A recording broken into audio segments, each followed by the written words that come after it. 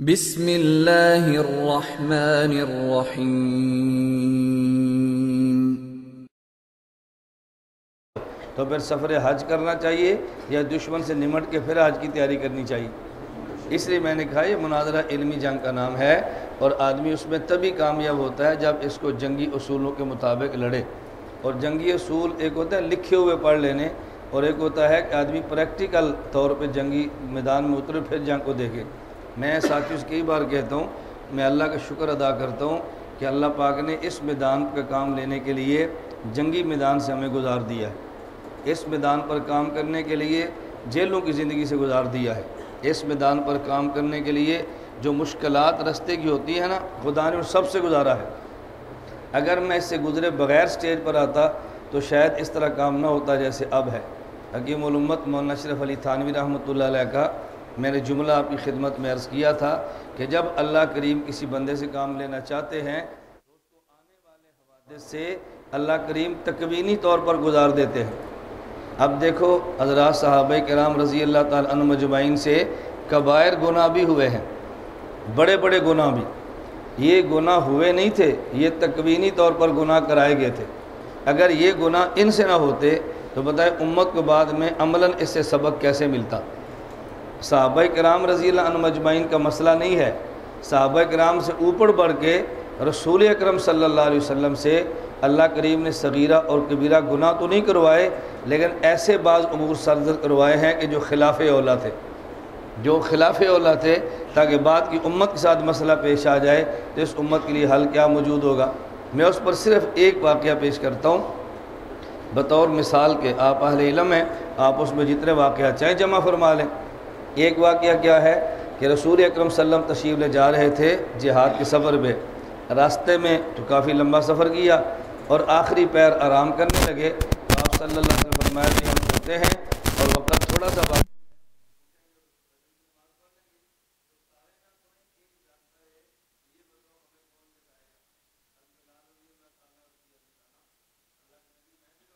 मैं आपका मौजन हूँ तो मैं उठाऊँगा। पर मैं, चलो, हम सो जाते हैं और बिलाल हमें उठा देंगे। हज बिलाल रज़ी अल्लाह ताला ने ऊँट के कजावे के साथ कमर लगाई और जिस तरफ़ से ये सुबह सादिक का जहूर होता है, मशरक़ की तरफ़, इधर मुँह करके बैठ गए। अब हज़रत बिलाल रज़ी अल्लाह टेक लगा के बैठे हैं और देख रहे हैं कब सुबह सादिक और मैं हजूर को उठाऊँ। हज़रत बिलाल रज़ी अल्लाह तहो भी सो गए। अब सूरज निकल आया, नबी पाक अलैहि वसल्लम की भी जमा, नमाज़ फजर की चली गई और साहब कराम की भी चली गई। अब नबी पाक सल्लम की शान क्या है? आईना या तनामान वला ये नाम कल्बी। कि हजूर की आँख सोती है, नबी का दिल जागता है। दिल जाग रहा है, लेकिन आँख पर इतनी नींद तारी करा दी गई कि रसूलुल्लाह सल्लम को एहसास नहीं हुआ और फजर की नमाज़ का वक़्त निकल गया। अब सूर्य निकला तो उठे और उठ के हज़रत बिलाल रज़ी अल्लाह तु से नबी करीम सल्ला सवाल किया कि, बिलाल आप किसी में उठाना था? आपने हमें उठाया क्यों नहीं? हज़रत बिलाल ने कहा, जिस खुदा ने आपको सुला दिया, उसी खुदा ने मुझे भी सुला दिया। अब बताओ, ये मसला कैसे समझ आता कि पूरी पूरी जमात अगर पूरे महल्ले वाले, मस्जिद के सारे नमाजी या सफ़र के अंदरों तो पूरे मुख्तलि इमाम सब की जमात चली जाए तो नमाज़ कैसे पढ़ेंगे? अल्लाह पाक ने अपने पैगंबर से काम करवा दिया। अब कोई गुनाह भी नहीं है। क्यों? सोए हुए थे ना? अब आपके जहन में सोए हुए थे तो नबी पाक का तो कोई गुनाह नहीं, ना साहब कराम का गुनाह है। सोने वाला आदमी तो मुस्तर होता है, मुख्तार होता ही नहीं, उसके बस में थोड़ी बात होती है। इसलिए रसूल अक्रम सल्लल्लाहु अलैहि से अल्लाह करीम ने खिलाफ ओला काम कराया। खिलाफ ओला काम का मतलब क्या होता है?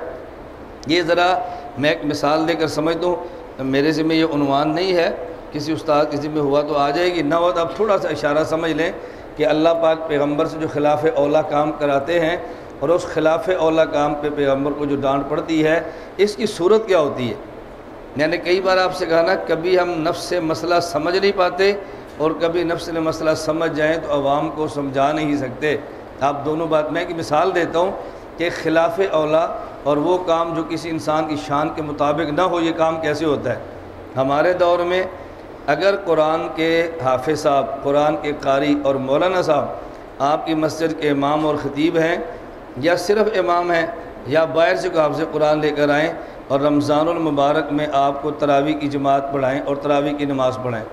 अब बताएँ, अगर तरावी पढ़ाने वाला इमाम सूरतुलबकरा के दरमियान में आखिर में भूल जाए तो ताजुब नहीं होता। अगर वो सूरत सूरतुलनसा आल इमरान में भूल जाए तो ताजुब नहीं होता। भाई हाफ़ साहब भूल गए। अगर ये ताजुब का मकाम होता तो आप पीछे सामे खड़ा क्यों करते? हर इमाम के पीछे सामे खड़ा करना इस बात की दलील है कि मुख्तदी भी समझते इमाम ने भूल जाना है और इमाम भी समझता है कि मैंने भूल जाना है। अब इसलिए भूल जाए, किसी को भी ताजुब नहीं होता, इमाम सब क्यों बोले हती कि हर में काबा और हर में मस्जिद नबी का इमाम तरावी में भूल रहा होता है, कभी लोगों ने ताजुब नहीं किया, समझते हैं कि भूलना है।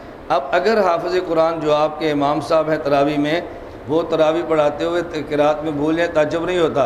लेकिन ये बताओ, तरावी शुरू करें और सूरत फातह पढ़ें और भूल जाएँ बात समझ आ रही है? सूरत फातह पढ़ें और भूल लें। पूरी मस्जिद के नमाजियों को ताजुब होगा कि नहीं? सबने कहना है और यार, ये कैसा आप मामला है? जिन्हें सूरत फातह भी नहीं होती आप कैसा कारी साहब लाए हैं, जिसको सूरत फातह भी नहीं आती? और वो अच्छा सा हाफज तलाश करो। हालाँकि जिस अल्लाह ने सूरत बकरा के दरमियान में बुलाया, उसी अल्लाह पाक ने सूरतफ़ातह के अंदर भी बुला दिया। लेकिन अगर सूर बकरा में भूल जाए तो ताजुब नहीं है, और अगर फातह में भूल जाए तो फिर ताजुब है। क्यों? आपने जो इमाम के पीछे सामे खड़ा किया है, इसलिए नहीं कि इमाम को सूरत फातह में भूल आएगी, इसलिए कि इमाम आगे जाकर अटकेगा। तो जो इमाम शुरू होते ही भूलना शुरू कर दे, इस इमाम पर लोगों का ताजुब होता है, कैसा इमाम है? मालूम हुआ कि 113 सूरतों में सूर फातह गुजर जाने के बाद इमाम और कारी का भूल जाना, ये इसकी शान के मुनासिब है। और फातह ही में भूल जाना, ये इमाम साहब की शान के लायक नहीं है। इस तरह नबी से कोई काम ऐसा होता है कि जो बज़ाहिर नबी के शान के लायक नहीं होता।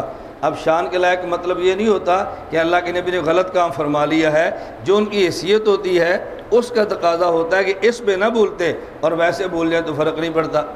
हमारे अपने साथ साथी होते हैं। अब रात मगरब की नमाज़ के बाद मैं अंदर गया और छोटा सा काम किया और मैं मुताला करने लगा। अब हमारे साथी हैं जो मुस्तकिल मेरी खिदमत पर है। मौलाना रमज़ान आपने देखे जो दूसरा, तीसरा साल है, मुस्तकिल मेरे साथ रहते हैं। अब देखो, आलिम भी हैं मुतखस भी हैं और मुझसे बड़े ज़िम्मेदार हैं। और 24 घंटे काम क्या है? मेरी नौकरी करना। और कोई तनख्वाह भी नहीं है कि जिस पर मैं कोई दस पंद्रह हज़ार रुपया देता हूँ, गाड़ी साफ़ कर रहे हैं, गन उठाइए चौबीस घंटे। इनके साथी भी रहता रहताने देते यार तुम कैसे मौलवी हो?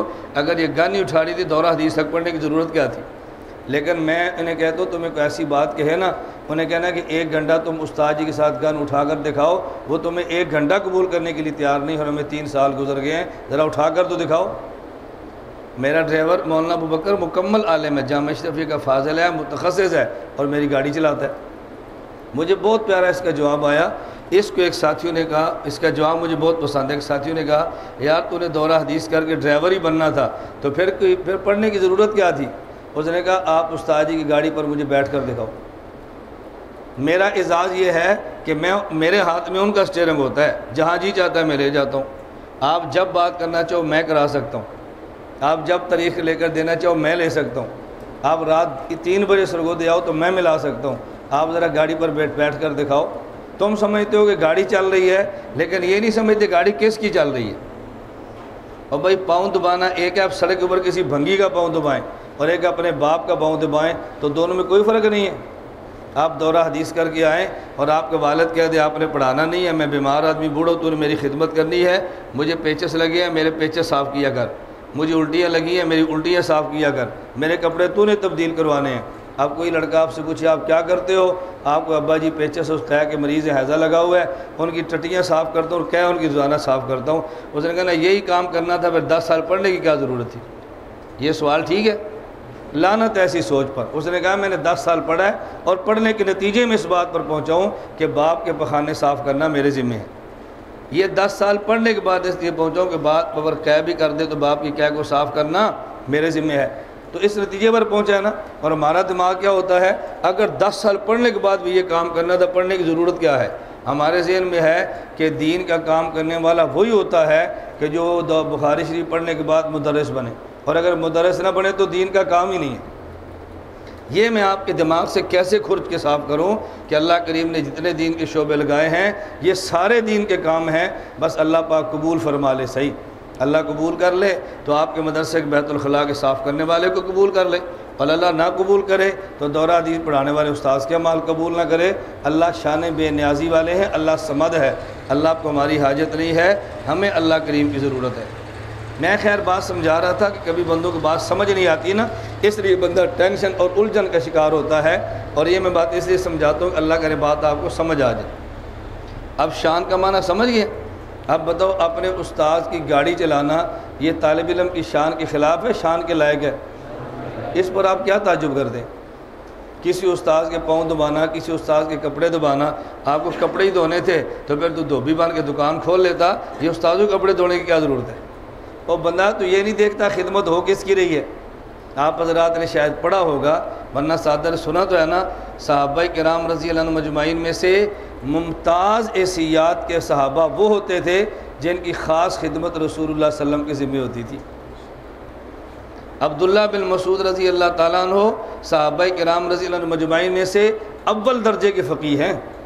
और इमाम आज़म अबू नीफ़ा रहमत की फ़िका का तकरीबन पूरा मदार अब्दुल्ला बिन मसूद रज़ी अल्लाह तु पर है। और अब्दुल्ला बिन मसूद रज़ी थे कौन? चरवाहे। कद छोटा सा है, टांगे पतली पतली हैं अब्दुल्ला बिन मसूद रज़ी अल्लाह और आठवें नंबर पर कलमा पढ़ के मुसलमान होकर हजूर के साहबी बनने वाले हैं रज़ी अल्लाह एक मर्द अब्दुल्ला बिन मसूद रज़ी अल्लाह दरख्त पे थे, किसी साहबी ने देखा तो कहा, ये अब्दुल्ला ये छोटी छोटी टांगों वाला। कोई किसी मसले पे अल्लाह के नबी सल्लल्लाहु अलैहि वसल्लम फरमाने लगे अब्दुल्ला की जो टांगें तुम्हें छोटी लग रही हैं, अल्लाह के यहाँ ओहद पहाड़ से ज़्यादा वजनी हैं। और ये अब्दुल्ला बिन मसूद रज़ी अल्लाह तु कौन थे? हज़रत अबू मूसा अशरी रज़ी अल्लाह तु कहते हैं, जब मैं यमन से मदीना मनवर आया तो अब्दुल्ला बिन मसूद का इतना हजूर के घर आना जाना था, मैं समझता था आल बैत में से है। ये कोई हजूर का रिश्तेदार है रिश्तेदार है। जैसे साला बहनोई दमाद होता है ना, ये घर का बंदा मुझे महसूस होता था। और ये अब्दुल्ला बिन मसूद रज़ी अल्लाह वो शख्स हैं कि जिनके लिए रसूल वसम ने ऐलान फरमाया था कि अगर मेरे घर का पर्दा लटका हुआ ना हो तो बग़ैर इजाज़त लिए तो अंदर आ जाए करो। पर्दा लटका हो तो इसका मतलब ये होता है कि उम्मिन में से कोई मेरे पास है, पर्दा ना लटका हुआ हो तो तुम बग़ैर इजाज़त के अंदर आ जाया करो। ये छोटा सा एजाज़ है। अब देखें ना, आप तलब आएँ और मैं किसी को कह दूँ भी आप जब चाहो कमरे में आ जाओ। ये छोटा सा एजाज़ होता है। ये मेरी तो हैसियत ही कोई नहीं है। हम तो रसूलुल्लाह सल्लम के बौल मुबारक के बराबर भी नहीं पढ़ते। और जिसको अल्लाह के नबी फरमा दें कि तुम मेरे पास आ जाओ, पूछने की इजाज़त नहीं है, इससे बड़ा एजाज़ क्या हो सकता है? सही बुखारी में है रसूल फरमाया इस मिन अरबातिन। चार बंदों का नाम लेकर फरमाया, कुरान इन से पढ़ो। उनमें सबसे पहले नाम लिया है हत अब्दुल्ला बिन मसूद रज़ी अल्लाह तु का। रसूल वसल्लम फरमाया कि जो बंदा चाहे ऐसे कुरान पढ़े जैसे तरोताज़ा उतर रहा है तो फिर अब्दुल्ला बिन मसूद की किरात पढ़ो। अलीमरतज़ा रज़ी अल्लाह हो जब मदीना से कोफ़ा आए हैं तो उन्हें जुमला ही फरमाया था। जब कोफ़ा के माहौल को देखा ना तो फरमाया, हज़रत को रहम अल्लाबन उम अबदिन मला अहाज़िलक़रियातमन अल्लाह, इबन उम अब्द, यानी हज़रत अब्दुल्ला बिन मसूद पर रहम फरमा, उसने पूरे कोफ़े को इलम से भर दिया। और इनका एजाज़ क्या था? साहिबुलसा हजूर की लाठी उठाया करते। साहिबुलनालैन हजूर के मुबारक जूते उठाया करते। साहिब सिवाक नबी पाक सल्लम की मिसवाक उठाया करते, अब ये इनका एजाज़ था कि हजूर के खादम ख़ास थे। और हमें ये बात समझ नहीं आती कि खिदमत भी कोई चीज़ होती है। अद अनस बिन मालिक रज़ी अल्लाह का एजाज़ क्या था? उनने कहा, ख़दम तो रसूल अल्लाह अशर सनीना। मैंने नबी पाक सल्लल्लाहु अलैहि वसल्लम की दस साल खिदमत की है। हजूर मदीना मनवर आए इनकी वालदा उम ने कहा, या रसूल अल्लाह लोग आपको हदिये देते हैं मैं गरीब औरत हूँ, मेरा भी दिल चाहता था हदिया पेश करूँ, लेकिन क्या पेश करूँ? ये छोटा सा बच्चा है, इसको खिदमत रख लें और यही मेरा हदिया कबूल फरमा लें। अनस बिन मालिक रज़ी अल्लाह ताला हो मैं ये बात इसलिए समझा रहा हूँ कि ये हमारा मिजाज बनना बड़ा ज़रूरी है कि इलम के साथ खिदमत कितनी ज़रूरी है। आप ये मिजाज बनाकर देखें और ूम में बरकतें देखें। और ये मिजाज बनाकर देखें, अल्लाह गवाह है, आप अपनी रूहानी तरक्यात का तरक्यात देखें। आप बनाकर तो मिजाज देखें ना, ये जुब्बे कुब्बे वाला मिजाज ख़त्म करें। हकीम उम्मत मौलाना शरफ अली थानवी रहमत किसी ने कहा, हज़रत, आप इतने बड़े आलम है, जब आप जुमे के दिन बयान फरमाएँ, या ईद के लिए आएँ तो ज़रा जुब्बा पहन लिया फर्म करिए, आप तो बहुत बड़े आलम हैं। हर फरमाते, मेरे पास इतना बड़ा इलम नहीं है कि मैं जुब्बा पहनूँ, इतना ही है कि मैं ये पजामा और ये शलवार कमीज़ पहन लिया करूँ। जुब्बे वाला इलम हो तो आदमी जुब्बा पहनता है ना? ये हमारे अकाबिर रहमल्ला का मिजाज था। उलाय का आबाई फ़जीनी बिमसलम इज़ा जमातना या जरीरुल मजाम अपने अकाबिर को देखो। मैं तो बल्कि एक जुमला इससे बढ़ के कहता हूँ मैं इलम और तकवे पर नहीं कहता, लेकिन अकाबिर के ूम की रोशनी में मुखातब से गुफ्तु करने की बुनियाद पर कहता हूँ ले सलफ़ता मैं यकूल काना भी अलफ़ता मैं यकूल नज़ा पहलवान वो नहीं होता जो कि मेरा दादा बहुत बड़ा पहलवान था। पहलवान वो होता जो कहता है, मुझसे पंजा जुबाई करो, पहले मुझ से लड़ो, तुम्हें मेरे दादे के इलम खुद ही समझ आ जाएगा। हम क्या ननोतवी रहमत पर भोंकने की हाजत नहीं है, तुम हमसे बात करो, ननोतवी रहमत के ूम तुम्हें खुद समझ आ जाएँगे। हमारे काबिर की तरफ़ ना जाओ, हमारे पास आ जाओ, हम हैं ना काबिर का दिफा करने वाले मौजूद। तो आप बताएँ क्या मिजाज होना चाहिए? उलाए का आबाई फ़जीन मिसरहम या लई सलवता में यकूल काना भी दोनों ठीक हैं। एडे शेर ना बनो दो ठीक है। बात समझ आ इतने शेर ना बनो, दोनों ठीक है। अबाव अजदाद को पेश करो और अबाव अजदाद के ूम की रोशनी में ख़ुद काम करो तो फिर इन मज़ा ज़्यादा आएगा। इतने पहलवान ना बनो कि बाप दादे का तस्करा ही छोड़ दो।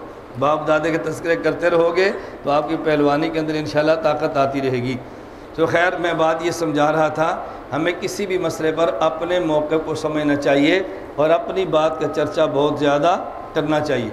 और गुफ्तु के दौरान ऐसा उनवान इख्तियार करें कि जिस पर मुनाजरे की हाजत ना हो और बग़ैर मुनाजरे की जंग अल्लाह फ़तः ता फरमा दे और बग़ैर लड़े अल्लाह को माल गनीमत की बजाय माल फ़ अता फरमा दे।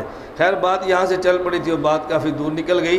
ये मैं कसदन दौरान दर्स बातें कसदन करता हूँ। ताकि इसलिए कि इलम तो माशाल्लाह आपके पास होता ही है। उस इलम के साथ आदमी के अंदर इलम की ताकत पैदा करने के लिए आदमी के अंदर रूहानी स्टीम होना बहुत ज़रूरी है, वरना आदमी के इंजन की परवाज़ें बहुत कम हो जाती हैं और आदमी बहुत जल्दी थक कर गिर जाता है और दिल छोटा करता है, हौसला हार जाता है और आदमी मैदान के अंदर फिर कामयाब नहीं होता। अल्लाह करीम हमें ये बातें समझने की तोफ़ी अता फरमाए। मैं खैर जो बात समझा रहा था ना, इसको अच्छी तरह जेन में रखें, अपने अकाबिर के बारे में, अकाबिर के बारे में, अपने के बारे में, साहब कराम रज़ी मजमिन के बारे में। मैंने जहाँ से बात शुरू की थी आपके जहन में है, मैंने कहा था कि बस अवकात अल्लाह करीम अपने पैगंबर से और साहब कराम से ऐसे काम सरजर फरमा देते हैं, जो उनकी शान के लायक नहीं होते, ताकि बाद वालों को पता चले कि इस मसले पर रहनुमाई कैसी होगी। और ये मैंने असूल क्यों पेश किया था?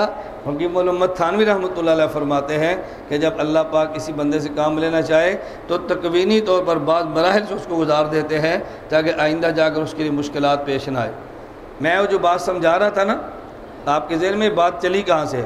मैंने कहा था, ये मेरे साथ मौलाना रमज़ान है जो खिदमत में होते हैं, यहाँ से आगे मिसालें शुरू हो गई थी। आपके जहन में आई या नहीं? थोड़ा सा वापस आया करो ना।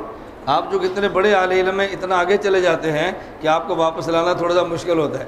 इसलिए फिर मुझे समझाना पड़ता है, बात कहाँ से चली है। मैं कह रहा था, मगरब के बाद मैं अंदर मुताला करने लगा तो मौलाना रमज़ान साहब आगे तालम कल तशीह थे मुलाकात के लिए कि वो आपसे मिलना चाहते हैं। मैंने उनसे कहा कि दौरा मसाइल शुरू होने से पहले मैंने तमाम हजरात को बताया था कि मुलाकात का वक़्त नौ से ग्यारह और असर से मगरब है। आपको पता नहीं है? क्या मुझे पता है। मैंने कहा ये गलती तुमसे तो नहीं होनी चाहिए थी ना? ये कोई नया तालब इम लेकर आ जाता तो मुझे गुस्सा ना होता लेकिन आपको तो गलती नहीं करनी चाहिए। ये बात मैं क्यों समझा रहा हूँ? अब देखिए वही काम आप करें और वही मुस्तकिल खादम करे तो दुख आप पर होता है या उस पर होता है? उस पर होता है। अब बात समझ आ रही इसे कहते हैं कि ये काम तुम्हारी शान के लायक नहीं था। ये गलती तुम्हें नहीं करनी चाहिए थी। उसने कहा उस्ताद जी अब जाकर कह दूँ मैंने कहा, अब जाकर कहोगे तो उनके जहन में पता क्या आएगा ये अंदर जाके मौलाना साहब को मिले हैं और उन्होंने समझा के भेजा है। भाई, एक अजनबी बंदा होता, मैं उस बंदे को जानता हूँ, मेरे अच्छे ताल्लुक़ वाले हैं। अब बाहर जाकर पैगाम देने का मतलब क्या है? मैंने कहा, अब उनको अंदर ले आओ। और ये बाहर उनको कह देना था कि आपके पास उस्ताद जी का नंबर मौजूद है, आप आने से पहले फ़ोन कर लेते, ताकि उनको पता चलता कि आप मगरब के बाद आएँगे। तो जब आपने फ़ोन नहीं किया तो आप नाराज़ उन्होंने मुताला करना है। तो ये बात आपको समझा देनी चाहिए। लेकिन आपने नहीं की अब सीधा अंदर आ गए, अब उनको वापस ना करो, अब उनको ले आओ। और ये मैंने कहाँ से सीखा है? इमाम आल सुन्नत वलजमात शेख तफसर वलहदीस उस्ताद मोहतरम हज़रत मौलाना मोहम्मद सरफरान सफदर रहमत से। मैंने हिफ़ का डेढ़ साल हज़रत के यहाँ गुजारा है। घर की खिदमतें मुझसे लेते थे। मैंने बहुत करीब से हज़रत को देखा है, आपने बहुत दूर से पढ़ा है और मैंने बहुत करीब से देखा है। एक मरतबा जहर से पहले हम दोपहर को सोए हुए थे, तालब इलम थे, कुछ मेहमान आ गए। तो मुझे किसी ने कहा सरगोदा से मेहमान हज़रत को मिलना चाहते हैं। मैंने उनको लिया और सीधा डायरेक्ट हज़रत के कमरे में, मेहमान बाहर खड़े हैं, गर्मी की दोपहर है, सीधा हज़रत कमरे में और सोए तो मैं उठाया। मैं शेख साहब, बाहर मेहमान आए ने हज़रत को शेख साहब सारे कहते थे कि खड़ मंडी में ना। तो मैंने कहा, शेख साहब बार मेहमान हैं। आप यकीन फरमाएँ, मजाल है हज़रत शेख रहमत के चेहरे पर बल आया हो। मजाल है हज़रत ने महसूस किया हो फ़ौर उठ के बैठ के फरमाया हमको ले आओ। मुझे अब एहसास होता है कि मैंने कितनी बड़ी गलती की थी। उस वक्त मैं समझता था कि मेरा कमाल है कि जो काम कोई नहीं कर सका, मैंने कर दिया है। लेकिन अब मुझे अंदाज़ा होता है मैंने कितना बड़ी गलती, कितना बड़ा जुर्म किया था। बहुत, बात चीज़ ऐसी है कि जब तक आदमी किसी मकाम पर न पहुँचे ना तो बंदे को बात समझ नहीं आती। हमारे यहाँ फैसलाबाद के उस्ताद हैं, सैयद नज़ीर शाह साहब दामद बरकातुम। उनके बेटे हैं, मौलाना उबैदुल्ला आए हैं। इधर ही हैं कि बैठे हैं? या कि सोए हुए हैं?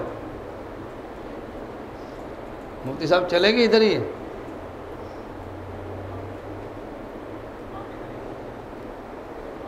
अच्छा नाम हो उबैदुल्ला साहब। इधर ही है, बुलाओ, किधर है मैं वाक़ से सुनाने लगा जो मेरे उस्तादों के बेटे हैं। तो ये कल आए तो उस्तादों ने मुझे फ़ोन किया कि पढ़ने के लिए आ रहे हैं। तो और साथ किसी में काम लगाया। कोई कहने गाड़ी फ़ौरन भिजवा दे, खुद रहना चाहें तो ठहरें। अब मैं इनको ये बात समझा रहा था। मैंने कहा, कहता नहीं, और कोई वजह नहीं है। बस अबू पक पकड़ पक करना चाह रहे थे कि वहाँ पहुँचा या नहीं पहुँचा। इसलिए आपको फ़ोन किया है। पता तो उनको था ही मैं आपके पास आ रहा हूँ। फिर मैंने इनको ये बात समझाई। मैंने कहा, नहीं, तुम अभी बेटे हो, अभी बाप नहीं बने। अभी बेटे हो, अभी बाप नहीं बने। ये मैं बातें क्यों समझाता हूँ? कि बाज़ बातें ऐसी हैं कि जब तक आदमी उस जगह पर न पहुँचे, उस वक्त तक बात को समझ नहीं आती। मैं आपका वाक़ सुना रहा था और आप सैर कर रहे हैं। मैं इनको कल ये बात असर के बाद समझा रहा था। अब देखो ये समझते कि मैं बड़ा हो गया हूँ। और अबू ने फ़ोन करके पूछा तो परेशान क्यों है? मैं ख़ुद समझदार हूँ। मैंने कहा बाप बाप होता है। हमें बचपन में बात समझ नहीं आती थी आज सम, अब समझ आती हम रात को निकलते ना बाहर खेलने के लिए तो रात तीन तीन बज जाते ये उस वक्त की बात है जब मैं छठी सातवीं आठवीं में स्कूल पढ़ता था। अब बताए क्या उम्र होती या देहात कभी उधर कभी उधर दिन नहीं रात को। दो दो तीन दिन बज जाते अब वापस आते माँ इंतज़ार में है। अबू इंतज़ार में है धुलाई भी खूब होती और मालिश भी टिका के करते और साथ वो बात समझाते उन्हें गलत किया हम इंतज़ार कर रहे थे। हम बार बार ये बात समझाते। वो होगी इन करें। करें। कोई बात नहीं करें। बिल्कुल इन भाई फवाद के दादा अबू रात फौत हो गए उनके लिए दुआ करें अल्लाह उनको मफ़रत फरमाए। अल्लाह उनके दर्जात बुलंद फरमाए। रात फौत हुए थे तो इनके साथ घर वालों का रबता नहीं था। मैं पहले तो मेरे फ़ोन पर कोई भी मिस कॉल आती, जब मैं सोया होता था, उठकर मैं सारे फ़ोन करता। बस अवत साठ साठ सत्तर सत्तर कालें मिस कॉलें आती, जब मैं सोया होता, और उठकर मैं सारी कालें वापस जवाब देता। अब चूँकि फ़ोन इतने ज़्यादा होता है कि हर मिस कॉल का जवाब तो मुमकिन नहीं होता। लेकिन अब ये करता हूँ कि जो बार बार फ़ोन आया हो ना तो मैं अभी जब उठा तो एक फ़ोन तो ग्यारह, बारह मरतबा फ़ोन आया था। तो मैंने उस फ़ोन को देखा तो फिर मैंने वापसी फ़ोन किया। तो इनके यहाँ से घर वालों का फ़ोन था कि हम बार बार फ़ोन कर रहे हैं, उनका नंबर बंद जा रहा है। उन्हें बताएँ कि आपके दादा अबू का इंतकाल हो गया है। तो दुआ फरमाए, अल्लाह ताला उनकी मफरत फरमाए, दर्जात बुलंद फरमाए, कब्र मुनवर फरमाए। हमारे दौरा, तहकीक मसाइल का अजर स्वाब अल्लाह उनकी रूह को पहुँचा दे। हम तो स्वाब के भी कायल हैं इसाल स्वाब के भी कायल हैं। कायल है ना? हाँ स्वाब के भी कायल हैं और इसाल स्वाब। स्वाब और इसाल स्वाब का माना क्या होता है? आदमी अमल करे, अजर ख़ुद ले, ये स्वाब है। अमल करे, अजर किसी और को दे इसाल स्वाब बताओ कितनी आसान तशरी है। अब को समझा सकते ना? आदमी अमल करे और स्वाब ख़ुद ले तो फिर अजर ख़ुद ले, स्वाब है। अमल करे, अजर किसी और को दे तो फिर ये इसाल स्वाब है। असल में वक्त थोड़ा होता है ना, मैं एक एक लफ्ज़ भी ना हमत बयान इस इसाल स्वाब क्यों है? इस उम्मत के लिए अल्लाह ने इसाल स्वाब का दरवाज़ा क्यों खोल कर रखा हुआ है? बस ये बात समझानी पड़ती है। खैर, मैं इनको ये समझा रहा था कि देखिए उबैदुल्ला आप अभी वो नहीं है जो आपके अबू जान है। आदमी समझता है कि मैं जवान हो गया हूँ, अब मेरी क्या फ़िक्र करनी है? लेकिन बाप तो बाप होता है ना। बाप को बहुत अच्छी तरह अंदाज़ा होता है कि बाप को बहुत अच्छी तरह अंदाज़ा होता है कि मेरी औलाद आँखों के सामने ना हो तो उस पर क्या गुजरती है? ये वही समझ सकता है जो साहिब औलाद है। और जो साहिब औलाद रहा, उसको समझता तो हज़रत शेख रहमत के पास मैं गया। उस वक्त मैं समझ रहा मेरा बहुत बड़ा कारनामा है। लेकिन अब ये पता चला कि नहीं, कारनामा नहीं, ये बहुत बड़ी हमाकत थी। बचपन में हम बाहर निकलते और वालदेन पूछते तो हमें ताजुब होता था? देखे मैं इतना बड़ा हो गया हूँ और अम्मी अब भी कहती तो जल्दी क्यों नहीं आता? मैं बेवकूफ़ हूँ, मुझे बाहर का नहीं पता। लेकिन अब पता चलता है कि माँ और बाप के जज्बात क्या होते हैं। मैं फिर इनको सुना रहा था कि मेरा बेटा छोटा है।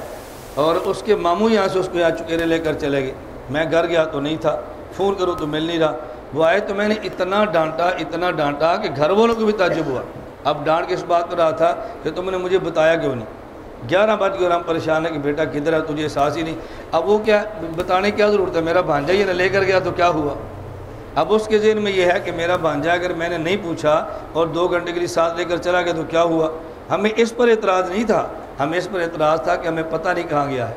मैं खैर समझा रहा था, अल्लाह ताला तकवीनी तौर पर इन मराइल से गुजारे ना तो फिर बंदे को एहसास होता है कि दुख कितना होता है। अल्लाह ताला आपको दीन का काम करने की तोफ़ी अता फ़रमाए और कायदाना हैसियत से अल्लाह तोफ़ी अता फ़रमाए। कायदाना हैसियत से दीन के काम की दुआ मांगना, ये ऐप की बात नहीं है। वजालनी लमतकीन इमामा, ये किसने दुआ मांगी है? इब्राहिम सलाम वजालनी लमतकीन इमामा। तो इब्राहिम की दुआ गलत थी या ठीक थी? तो फिर ऐसी दुआ मांगना गलत तो नहीं है ना? हाँ बस अल्लाह करीम से दुआ मांगे, अल्लाह आफ़ियत के साथ इस खिदमत के लिए आपको कबूल फरमा ले। आफ़ियत के साथ अल्लाह कबूल फरमाए, इस्तकामत के मामला बड़े मुश्किल होते हैं। खैर, बात काफ़ी लंबी हो गई मैं तो सिर्फ़ ये समझा रहा था कि मसले के ऊपर उनवान अपना रखें, मसले के ऊपर उनवान गैर का ना रखें, बस। इस पर पाबंदी से अमल करें और कोशिश किया करें कि आपको मुनाजरे के बगैर फ़तः ता फरमा दे अल्लाह। जब ज़रूरत पेश आ जाए तो फिर मुनाजरा करने में हर्ज भी नहीं है, लेकिन मुनाजरे में असूल जंग की रियायत फरमाएँ। अगर नहीं फरमाएँगे तो फिर दिक्कत पेश आएगी। इस जुमले से मैंने पूरी गुफ्तु शुरू की है और इसी पर वापस आकर ख़त्म करता हूँ कि मुनाजरा, ये असूल इल्मी जंग का नाम है और इलमी जंग सही वही लड़ सकता है जिसने अमली जंग लड़ी हो। जिसने अमली जंगें ना देखी हो ना, इल्मी जंगों का उसके लिए इदराक करना बड़ा मुश्किल होता है। अल्लाह पाक आपको भी तोफ़ी अता फ़रमाए। अल्लाह मुझे भी आफ़ियत, सादीन की खिदमत के लिए कबूल फरमा ले। मसला क्या है कि जब नमाज़ पढ़े, इमाम वलजालीन कहे तो मुख्तरी को आमीन आहिस्ता कहना चाहिए या ऊँची आवाज़ से? आल सुन्नत वल जमात अहनाब का मसलक ये है कि नमाज़ में आमीन आहिस्ता चाहनी चाहिए। खा ये नमाज़ जहरी हो या नमाज़ सिरी हो?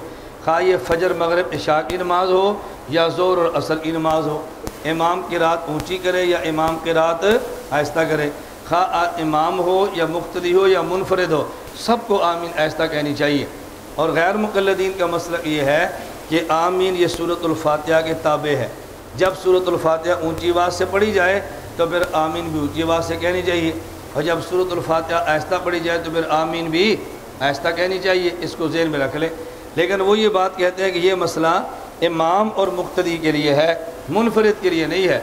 मुनफरद हर हाल में उनके यहाँ आमीन आहिस्ता कहेगा, इमाम ऊँची बात हो तो आमीन ऊँची कहे, और अगर नमाज़ में किरात आहिस्ता हो तो आमीन भी आहिस्ता कहे। इस तरह मुख्तरी भी जब इमाम की रात ऊँची बात से कहे तो आमीन ऊँची बात से कहे, और जब इमाम की रात आहिस्ता करे तो मुख्तरी आमीन भी आहिस्ता कहे ये है हमारा और उनका इख्तलाफी मसला। इस पर दलाइल से मात फरमाएँ। कल हमने तरके के रात खलफल इमाम की बात की थी ना, उसमें मुझे उस वक्त तो याद नहीं रहा, लेकिन एक बात बाद में याद में आई, उसमें जेर में रख लिया करें कि गैर मुकलदीन के यहाँ इमाम के पीछे तवज्जो करना। हमारे यहाँ इमाम की किरात मुख्तरी की किरात होती है। और गैर मुकलदीन का इमाम इकराज किरात की किरात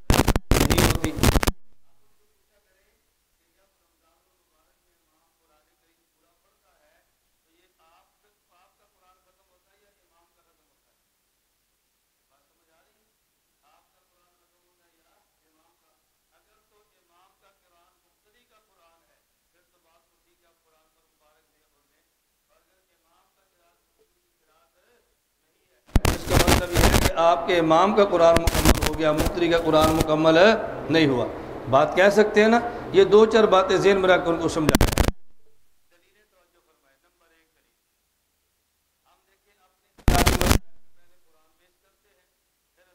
पेश कर रहे हैं।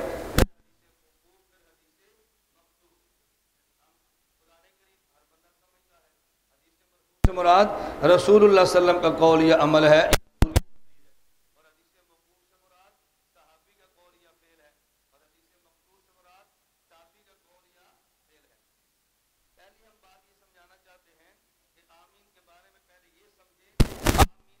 हैसियत क्या है? अगर आमीन की हैसियत समझ आएगी तो आमीन के मसले को समझना आसान होगा। अगर हैसियत समझ नहीं आएगी तो मसले को समझना आसान नहीं होगा। आमीन या तो दुआ है, और यामीन अल्लाह के नामों में से एक नाम है। आमीन दुआ है, इस पर कुरान करीम की आयत समात फरमाए।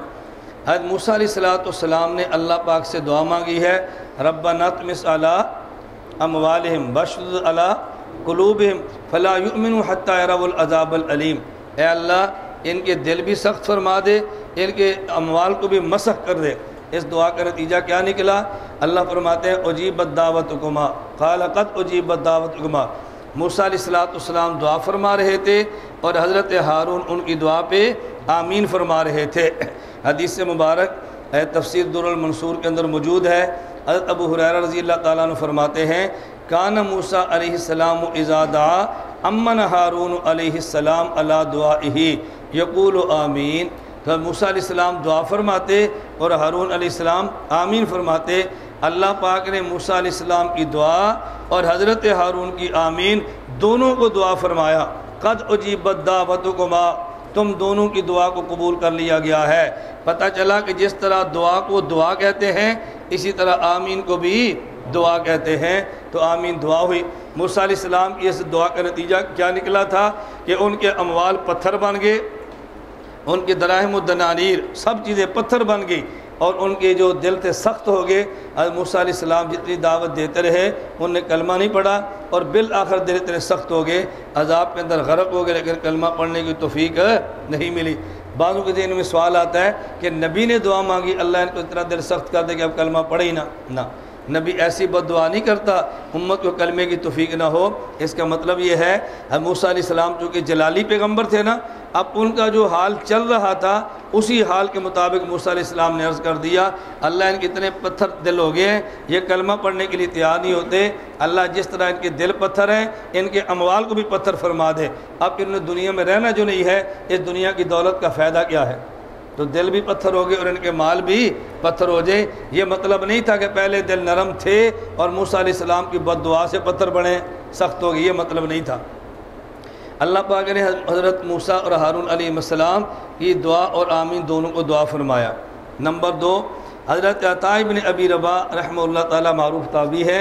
हज़रत इमाम बुखारी रहमत फरमाते हैं, काल आता आमीन। हज़रत अता फरमाते थे, काल आता आमीन, दुआ उन हज़रत अता फरमाते आमीन, दुआ है। सही बुखारी, बाब जहर इमाम बितामीन इमाम बुखारी ने बाब कायम किया है और उसके तहत अता का जुमला नकल किया है। अब हम कहते हैं, अगर ये आमीन, दुआ है, ये भी हैसियत है। नंबर दो, आमीन, दुआ ना हो, बल्कि आमीन अल्लाह के नामों में से एक नाम हो। हज़रत अबू हुरैर रज़ी अल्लाह फरमाते हैं मुसनफ़ इबन अबी शैबा में ये रवायत मौजूद है और मुसनफ़ अब्दुलरज़ाक के अंदर भी रवायत मौजूद है। फरमाते हैं, कालू आमीन, इसम मिन असमा ताला। तब हुरैर रज़ी अल्लाह मुजाहिद, हकीम और हिलाल, इन सबसे जुमला नकल फरमाया, आमीन, इसम मिन असमा ताला। आमीन अल्लाह के नामों में से एक नाम है। अब आमीन की दो हैसीतें हो गई, या आमीन दुआ है और या आमीन अल्लाह का नाम है। अब हम कुरान करीम और दीगर दलाइल से फ़ैसला करें, अगर दुआ है तो दुआ में असल जहर है या असल इख्फा है? दुआ में असल या ऊँची आवाज़ से मांगी जाए या आहिस्ता, और अल्लाह का ज़िक्र आहिस्ता करना अफजल है या ऊँची आवाज़ से? अब इस पर बात करें तो कुरान करीम को हमने देखा, कुरान कहते हैं उद रबकुम तजर्रम खुफिया। जब अल्लाह का नाम लो और जब अल्लाह को से तुम दुआएँ मांगो, अपने परवरदगार को पुकारा करो। तजर्र व खुफिया, नंबर एक गिड़गड़ा कर नंबर दो आहिस्ता। तो मालूम हुआ कि अल्लाह के से मांगने में, दुआ में असल तरीका यह है कि आदमी आहिस्ता मांगे, ऊँची आवाज़ से न मांगे। मुझे एक साथी कहने लगा, अगर आहिस्ता दुआ करनी अफजल है, ये जो तुम्हारे रायवन के इज्तम में दुआ होती है, आहिस्ता होती है, ऊँची होती है? मैंने कहा, ऊँची। कहता है, फिर ये दुआ तो कुरान के ख़िलाफ़ हो गई ना? मैंने कहा, ये कुरान के ख़िलाफ़ नहीं है, कुरान के मुताबिक है। मुझे कहता है, जी, वो कैसे? मैंने कहा, एक होता है दुआ करना और एक होता है दुआ मांगना। एक होता है दुआ करना या दूसरे लफ्ज़ में यूँ कहो, एक होता है दुआ करना, एक होता है दुआ कराना। एक है दुआ करने वाला, एक है दुआ कराने वाला।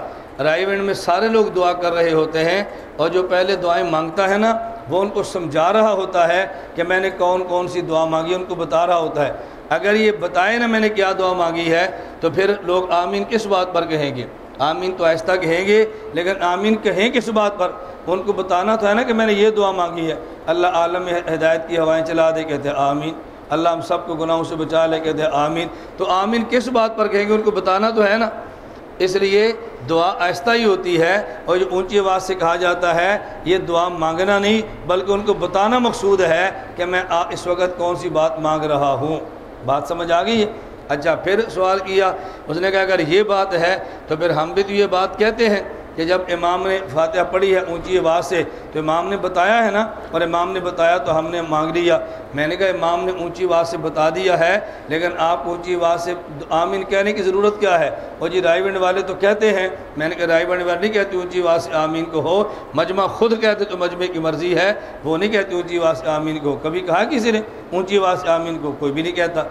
इसलिए ये दुआ कुरान के ख़िलाफ़ नहीं है, बल्कि कुरान करीम के, कुरान करीम के मुताबिक है। अच्छा जब सीरी नमाज़ होती है एतराज़ समझना, फिर एतराज़ जब सीरी नमाज़ होती है, अब हम आमिर कैसे कहेंगे? मैंने कहा, कैसे कहेंगे? आप कहना चाहते हैं, हमें पता ही नहीं इमाम ने क्या मांगा है। वो जाहिल आदमी हर किसी को पता है कि जब इमाम खड़ा होता है क़्याम में तो अल्हम्दुलिल्लाह रब्बिल आलमीन पढ़ता है, हर किसी को पता है। इसमें देखो बताने की ज़रूरत ही नहीं है कि इमाम ने क्या मांगा है और हमने किस बात पे आमीन कहनी है। जब पता चलेगा तो आमीन कहेंगे ना, और जब नहीं पता चलेगा तो फिर हम कहेंगे कैसे? एक अच्छा एक बात इससे और समझ लें।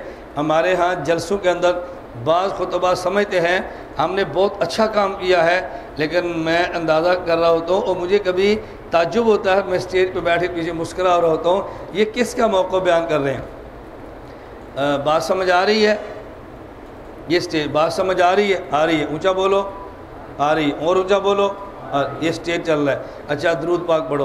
दरूद पाक पढ़ लिया। जिसने पढ़ लिया, ज़रा आगे हो जाओ। चलो। अब ये मजमा जोड़ा जा रहा है। अच्छा जब बात समझ आए तो क्या कहना है? सुबहान अल्लाह और जब ना समझ आए तो क्या कहना है?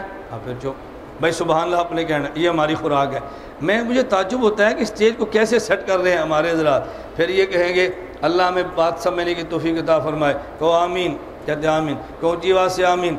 और समझो, मसला समझो, जब नमाज़ हो तो आमीन आहिस्ता कहनी है और जब तकरीर हो तो आमीन ऊँची आवाज़ से कहनी है। वो समझता है कि मैं हनफिया का मौक़ बयान कर रहा हूँ। भाई, हनफिया का मौक़ ये नहीं है कि जब आमीन हो, नमाज़ हो तो आमीन आहिस्ता है और जब आमीन नमाज़ न हो तो फिर आमीन ऊँची आवाज़ से है। हमारा यही मौक़ है। हर हाल में आमीन आहिस्ता है खा नमाज़ हो या नमाज़ से बाहर हो। लेकिन वो खुश होता है कि मैंने हनफिया का मौक़ बयान किया है। अच्छा कभी स्टेज पर नात खान होते हैं या हमारे खुतबा होते हैं, दरूद पाक पढ़ो, ये नहीं कहते। कहते हैं, नमाज़ वाला दरूद पाक पढ़ो। और वो समझते कि हमने आल बिदत का मुकाबला किया है। मैं उन, एक से मैंने पूछा, भैया, जो आप कहते हैं नमाज़ वाला दरूद पाक पढ़ो तो क्या ये नमाज़ पढ़ रहे हैं? कहते हैं, नहीं। मैंने कहा, जब नमाज़ नहीं पढ़ रहे तो आप नमाज़ वाले दरूद पर पाबंद क्यों करते हैं? भाई, जब नमाज़ होगी तो नमाज़ वाला दरूद है, और जब नमाज़ नहीं होगी तो फिर आप नमाज़ वाला दरूद क्यों पढ़ा रहे हैं इनको? लेकिन वो समझता है कि मैं आल बिदत का मुकाबला कर रहा हूँ और मैंने कितनी अच्छी बात कह दी है। कभी आदमी दीन का दिफा करते हुए दीन को नुकसान पहुँचा देता है। मेराज के अनुमान पर अगर आपको मैं देख, मुझे नहीं पता अगर यहाँ को वीडियो बयान पढ़ा हो तो मैंने कहूँगा किस दिन आपको मेराज के मौके का बयान सुनाए। जहाँ मैंने मिराज पर यह तकरीर की है ना कि मिराज रसूलुल्लाह सल्लम के लिए एजाज़ भी है, एजाज़ भी है। इस पर मैंने गुफ्तु की है कि मिराज जिसमानी पर जब एतराज़ हुआ, एक जवाब सर सैद ने दिया है, एक जवाब तहलकादरी ने दिया है। दोनों ने अपने ख्याल में दिफा किया है और दिफा की आड़ में नुकसान कितना किया है, ये उम्मत को पता ही नहीं है। डॉक्टर जाकर नायक तकबल दियान पर दिफा करता है और दिफा की आड़ में नुकसान क्या करता है, ये किसी को पता ही नहीं है। मैंने इस पर मिसालें दी हैं कि देवबंद दीन का दिफा भी करते हैं और दिफा करते हुए दीन को नुकसान से बचाते भी हैं। एक पहलू का दिफा करो और दूसरे का नुकसान कर दो, ये कौन सा कमाल है? इधर हनफियत का दिफा हो रहा है और साथ साथ ही हनफियत को नुकसान भी पहुँचाया जा रहा है। मैं कराची एक मदरसे में था, ख़त्म बुखारी का जलसा था। तो मैं कमरे में बैठा हुआ था और स्टेज सेक्रेटरी मुझसे नज़म पढ़ा रहा था। अब नज़म के दौरान वो जो नज़म पढ़ने वाला है वो भी कह रहा है और शेख शक्ति ने भी कहा भी सुबहान अल्लाह कह के ऊँची आवाज़ से दाद दो। अब वो नज़म पढ़ी और शेख शक्ति ने पहले तरगीब दी क्योंकि आपने सुबहान अल्लाह कहना है। और जब सुबहान अल्लाह कहे ना तो जन्नत में इतना लंबा और बड़ा दरख्त लगता है पाँच सौ साल अरबी घोड़ा, नस्ल का घोड़ा दौड़ता रहे, उसकी गुलाई को नाप नहीं सकता। तो आपने सुबहान ऊँची आवाज़ से कहना है। अब नात खान आ गए उनने नात पढ़नी शुरू की कभी ऊँची सुबहान लगाओ और ऊँची आवाज़ से। बात समझ आए ना? और ऊँची आवाज़ से। फिर उसने भी हदीस सुना दी कि कितना बड़ा ये दरख्त लगता है सुबहान अल्लाह कहने से। मैं कमरे में बैठा था तो मैंने मोहतम साहब बुला लिया। मैंने मोहतम से कहा, जी, एक मुझे मसला तो बताएँ।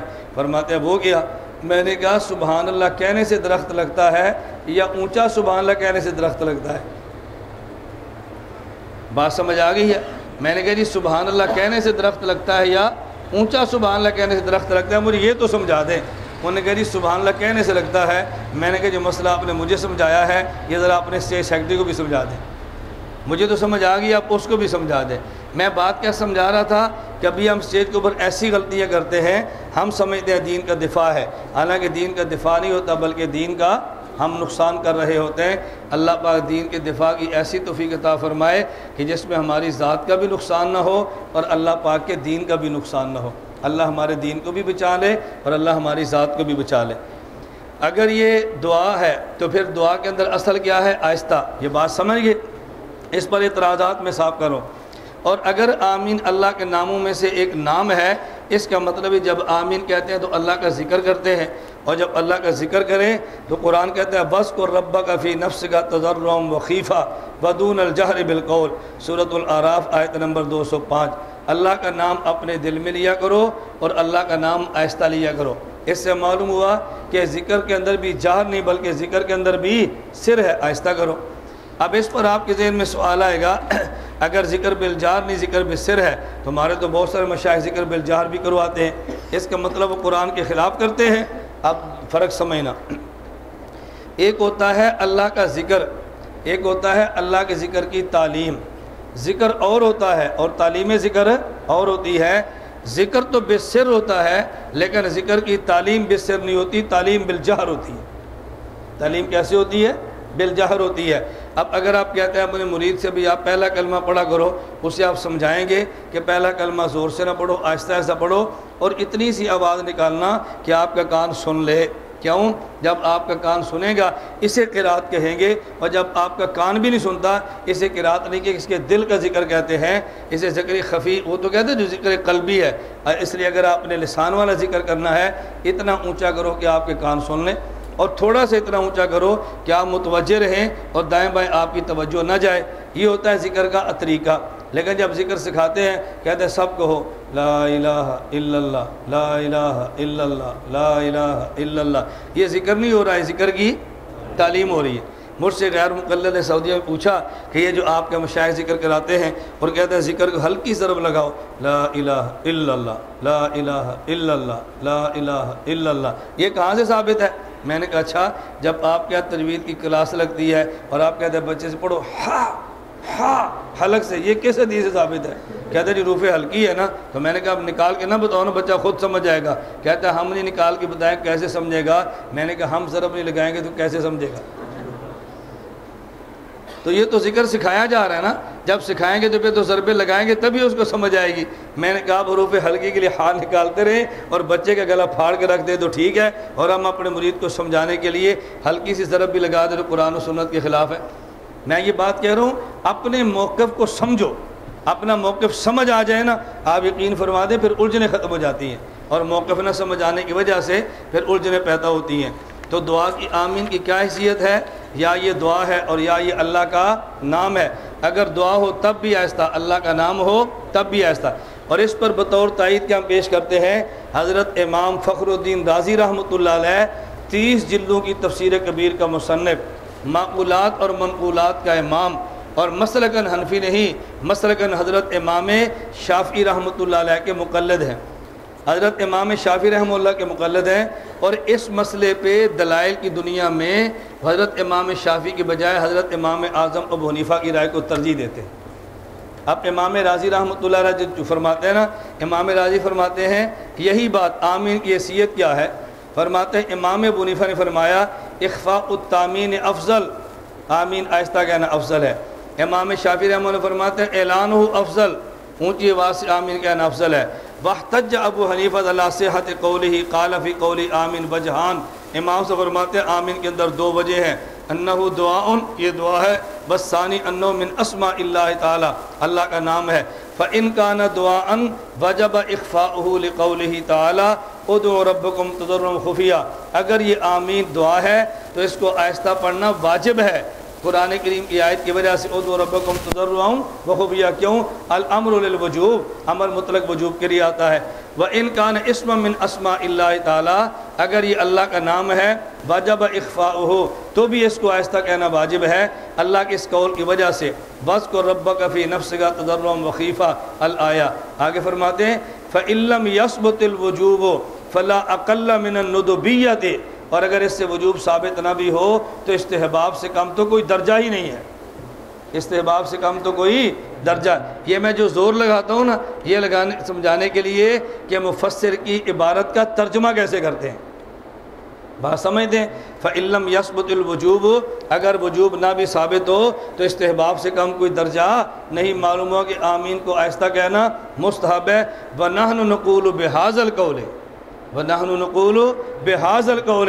फरमाते हैं, इस मसले पे मेरी वही राय है जो इमाम आज़म अबू हनीफ़ा की राय और तर्जमा समझ गए व बेहाजल कौल का तर्जमा समझ गए ना। मैं तर्जमे पे ज़ोर लगाता हूँ कि तर्जमा सीखो वरना अपने कहना है, और हम भी कहते हैं साथ इस कौल के। और हम भी कहते हैं साथ इस कौल के। अब आप समझ आए, नहीं समझ आए अवाम इस बला को क्या समझे? तो तर्जुमा ऐसा करो कि आवाम समझे। और इस मसले पर हमारी वही राय है, जो राय हज़रत इमाम आज़म अबू हनीफ़ा रहमत की है। अहादीस से मात फरमाए। मुसनद अबू दाऊद त्यालसी, मुसनद अहमद मुस्तरक सही हैं हज़रत वायल बिन हजर रज़ी अल्लाह तु से रवायत है अन्नमान नबी सल्ला वसम नबी करीम अलैहि वसल्लम के साथ नमाज़ पढ़ी। फ़लम्मा कर अगैर मकसूब अलैहि काल आमीन खफद बिहा सऊत हो नबी पाक अलैहि वसल्लम ने जब गैर मकसूब अलैहिम पढ़ा तो आपने आमीन फरमाया और खफद बिहा सऊत आमीन आहिस्ता फरमाई। इससे मालूम हुआ कि आमीन हमें आहिस्ता कहनी चाहिए। इस हदीस पर एतराज़ात हैं। एक एतराज़ ये है, इस हदीस में हज़रत इमाम अबू दाऊद कहते हैं, काल हदसना शोबा। शोबा ने जो रवायत नकल की है, कहते हैं, समेत हजरन अबल अम्बस मैं आगे हज़रत सलमा के बाद हजर अबुल अम्बस का ज़िक्र किया है। तो हजर बिन अम्बस इनका नाम है और इनकी कुनीत ज़िक्र की है अबुल अम्बस। हालाँकि इनकी कुनीत अबुल अम्बस नहीं है, बल्कि इनकी कुनीत अबुल अम्बस की बजाय अबू सकन है। तो इनका एतराज़ ये है कि चूँकि शोबा से गलती हो गई है, इस बुनियाद पर हदीस ज़यीफ़ है कि राबी ने हदीस के बयान करने में गलतियाँ की हैं। राबी का नाम क्या? हजर बिन अम्बस और कुनीत क्या बयान की है? अबुल अम्बस और इनकी कुनीत थी कि अबू सकन। अबू सकन को अबुल अम्बस कह दिया है। इससे मालूम होता है कि शोबा से गलती हुई है। और जब रावी वो गलतियाँ करे, उसका हाफजा कमज़ोर है या इख्तलात का शिकार है तो हदीस ज़यीफ़ होगी। इसके जवाब से मात फरमाएँ। जवाब नंबर एक, ये हज़रत इमाम शोबा ये सही हैं, सही बुखारी, सही मुस्लिम। और सुन अरबा के सिक्का रावी हैं। सिका रावी है। और जब सिका अगर एक ज़्यादा करे, यानी अबू शकर की बजाय अमुल अब्बस ये ज़्यादा जो की है, सिका की ज़्यादा सनत के अंदर भी मोतबर होती है और मतन के अंदर भी मोतबर होती है। इसलिए सिका रावी है और सिका की ज़्यादा को कबूल किया जाता है। इमाम बुखारी फरमाते हैं बस ज़्यादत मकबूलत सही बुखारी, बाबुल बाबुलशरफ़ी मायुस्का ममा इसमा वलमा इलजारी इसी तरह, अन्न ज़्यादत में सकद मुस्तरक सही में इमाम हाकिम फरमाते हैं। जवाब नंबर दो, हजर बिन अम्बस की दो कुनीतें हैं। एक कुनीत अबुल अम्बस है और एक कुनीत अबू सकन है।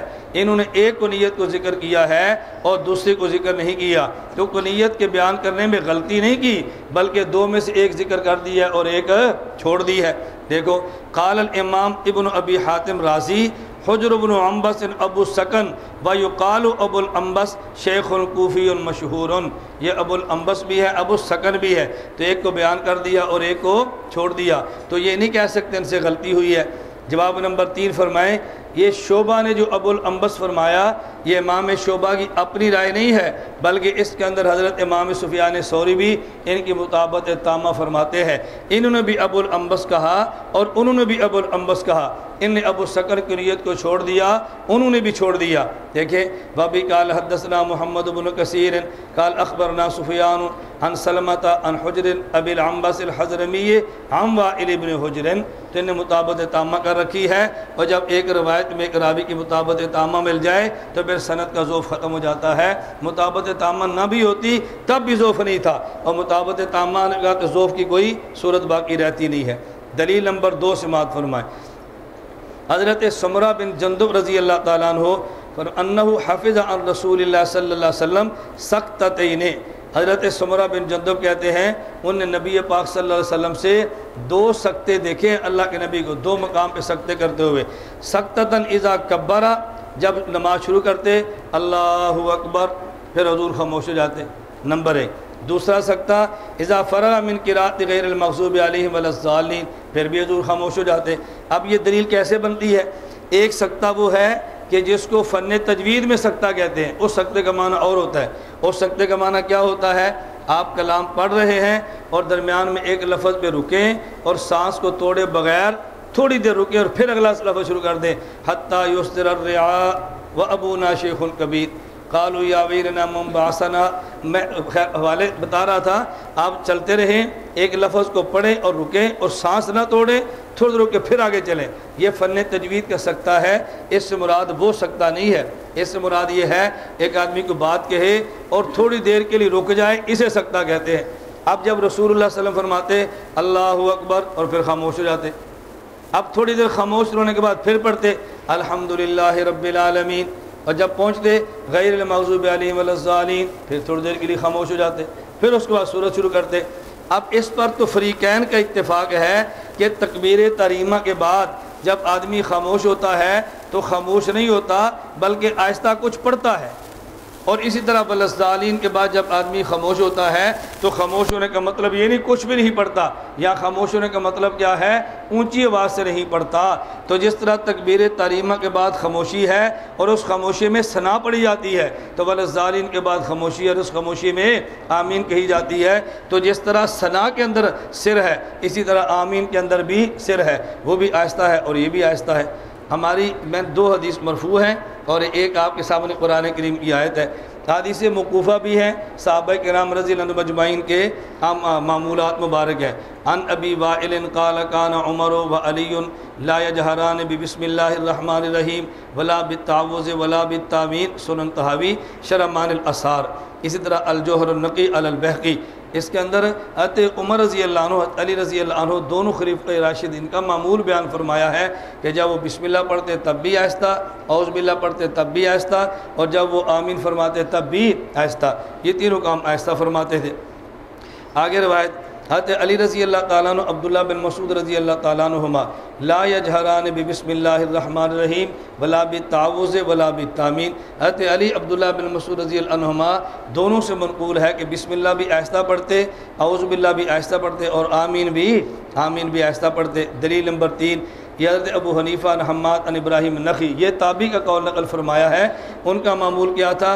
अरबाउन युखाफ़त बिहिन इमाम। चार चीज़ें ऐसी हैं कि जिसको इमाम आहिस्ता कहता है। सुबहान अल्लाहुम्मा व तब्बा मिन शैतान व बिसमिल्ल व आमीन। ताबदा पढ़ें को तावजु करता है, या ताबुदम मिन शैतान पढ़ें, कि इसके अंदर वो आहिस्ता पढ़ता है। ये चार मकाम ऐसे हैं कि जिसमें आमीन, इमाम ने आहिस्ता कहनी है। हम कहते हैं, जब इमाम आहिस्ता कहे तो उनका मौक़ ये था इमाम भी जारन के और मुख्तदी भी जारन के।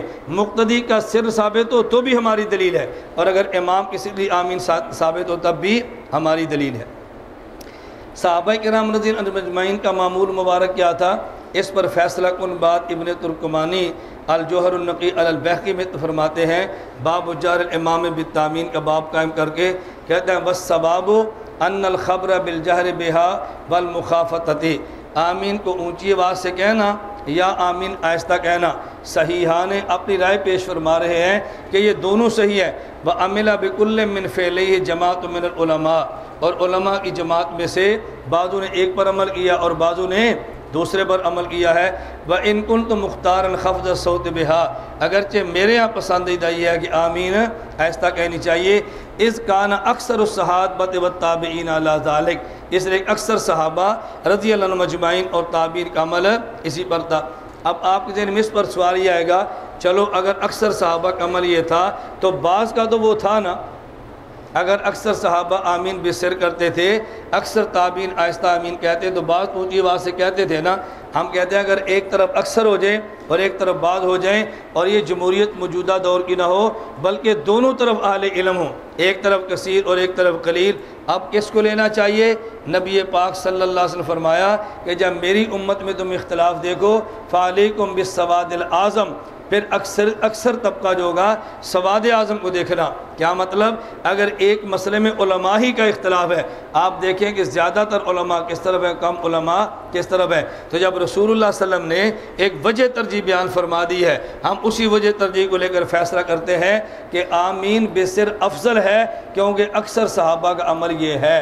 आमीन बेसर अफजल है, क्योंकि अक्सर ताबीन का अमल ये है। हम आमीन बिलजार को नजायज़ न कहें, लेकिन आमीन बिलजार को मफजूल और मरजू तो कह सकते हैं ना। इसलिए जब राजे पर दलाल मौजूद हो, इसके होते बिला वजह मरजू पर अमल करने की क्या हाजत है? इसको सवाए ज़िद के और तो कुछ नहीं कह सकते ना चूँकि चिड़ और ज़िद है। इसलिए दलाल के बावजूद कोई ना माने तो उसकी मर्ज़ी है।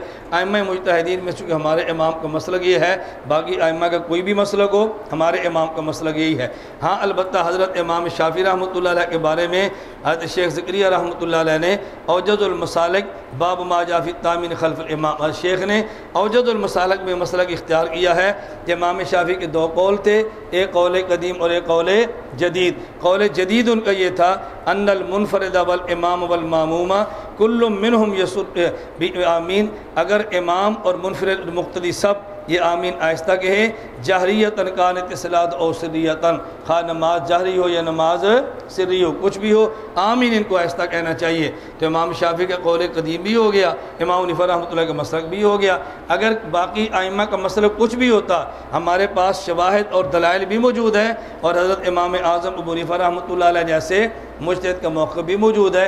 इस बुनियाद पर हम कहते हैं, हम आमीन आहिस्ता के कायल हैं और आमीन बिलजहर के कायल नहीं। हमने बतौर लतीफ़ा रईसमनाजन हजतल्लाफ़िलर्स हस्त मौलाना मोहम्मद अमीन उकाड़वी रहमत से सुना था। हज़रत फरमाते थे कि जब बर सग़ीर में अंग्रेज़ आया तो शरारतें अंग्रेज़ ने शुरू कराई थी। उस वक़्त यह मसला शिद्दत से उठा।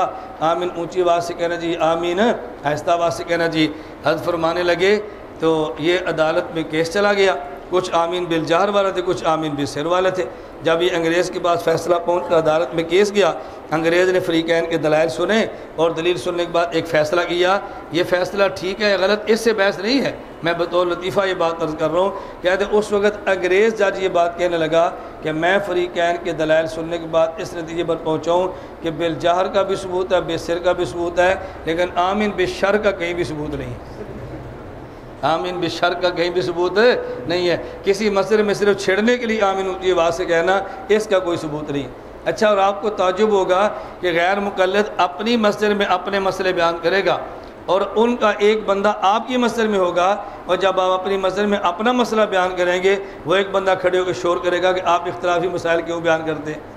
वो इख्तलाफी मसाइल पर धड़ल्ले से अमल करें तो जुर्म नहीं है। हम अपनी मस्जिद में इख्तलाफी मसला बयान करें तो जुर्म है। क्या मकली समझ आई उनकी। यानी हमारी मस्जिद में वो अपने इख्तलाफी मसले पे दरल्ले से अमल करें तो गलत हो गया है। और हम अपनी मस्जिद में अपना मसला बयान करें तो कहते हैं, ये बिल्कुल गलत है। तो जब तुम्हें हमारी मस्जिद में इख्तलाफी मसले पे अमल करने की गुंजाइश नज़र आती है तो हमारा मसला अपनी मसले बयान करने की तुम्हें गुंजाइश नज़र क्यों नहीं आती? आदमी अगर थोड़ी सी हिम्मत करे ना तो काम चल जाता है। आप हजरात के लम में है। सैयद मोहम्मद अमीन शाह रहमत मखदूम और पोहड़ा वाले मैंने ज़िक्र किया था उनका एक मरतबा आपके सामने। हज़रत मदनी रहमत के मुस्तरशर ख़ास थे और पीर जी खुर्शीद रहमत खलीफा थे। सिलसिला मदनिया के सरखेल आदमी थे। मैं हज़रत की खिदमत में जाता रहता था। मुझे हज़रत से मुस्तकिल इजाज़त इजाज़त भी है। हज़रत से मैं उनका मुजाज बैत भी हूँ, मुजाज ज़िक्र भी हूँ। ने मुझे इजाज़त भी दी थी। बैत मेरी उनसे नहीं थी, बग़ैर बैत के मुझे खिलाफत से नवाजा था।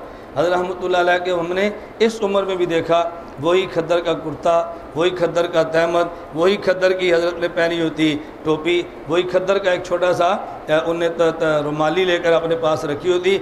यानी इस माहौल से मुतासर उसी खद्दर के साथ चलते। और हज़रत रहमत की मस्जिद में एक मरतबा, एक गैर मुकलद आ गया। हज़रत इन मसाइल में बहुत शिद्दत इख्तियार फरमाते थे और रत्ती बराबर भी गुंजाइश नहीं निकालते थे, रत्ती बराबर भी। हर नमाज़ के लिए खड़े हुए। जब वलसालीन कहा तो एक गैर मुकलद उसने ऊँची आवाज़ से आमीन कह दी। वही नमाज़ तोड़ ली और डंडा उठा लिया। अब गैर मुकलद आगे आके हज़रत उसके पीछे पीछे। वो दिन और ये दिन, आज के दिन तक गैर मुकलद को उस मसले में ऊँची आवाज़ में आमीन कहने की ज़रूरत नहीं हुई। हमेशा के लिए वहाँ से सफाया निकल गया।